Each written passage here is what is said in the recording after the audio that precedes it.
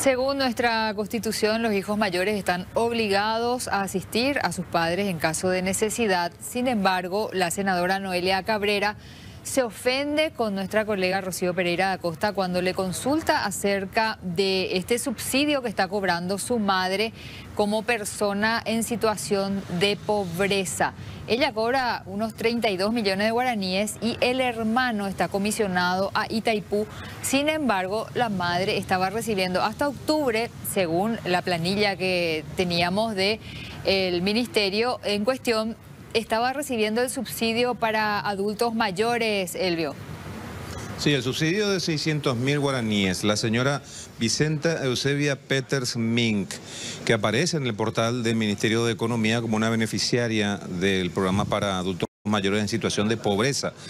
Desde que comenzó a saltar la información, la legisladora Noelia Cabrera no se hacía encontrar, no quería responder a las preguntas de la prensa. Hoy finalmente eh, se quedó un rato bastante incómoda a la defensiva a responder las preguntas de nuestra compañera y allí ella ratificó que su mamá es de condición pobre y que tiene derecho a recibir dicho subsidio.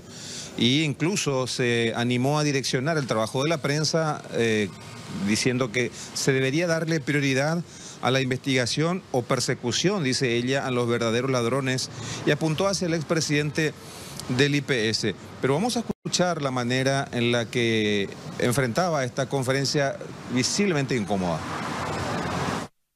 ¿Por qué la persecución por una mujer pobre, en condición pobre, porque yo no nací en cuna de oro?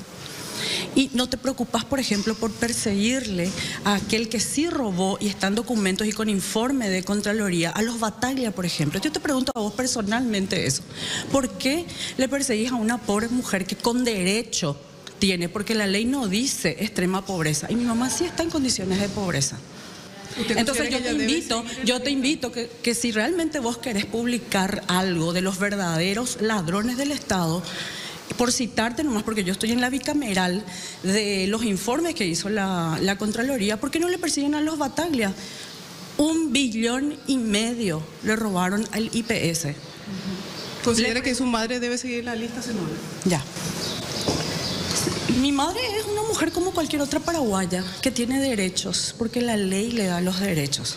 Ahora bien, están mal informando. Mi mamá hace cuatro años, cuando yo no era senadora, hizo la gestión. Sí. ¿Y sigue en la lista de ella, senadora? Y ustedes son los que tienen la verdad. Pueden averiguar si está o no en la lista. Pueden averiguar. Ustedes son los dueños de la verdad.